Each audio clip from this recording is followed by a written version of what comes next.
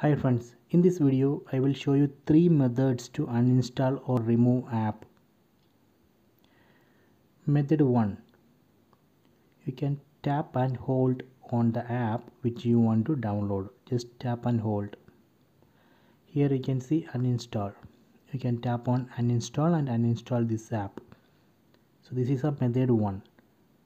Method 2 You can go to app info, tap on app info here you can see uninstall. You can tap on uninstall and uninstall this app. This is a method 2 so let me go to method 3 open settings app. Then go to apps select apps. Then search for the app which we want to download. Let me select whatsapp then here you can see uninstall. You can tap on uninstall. Then tap on ok.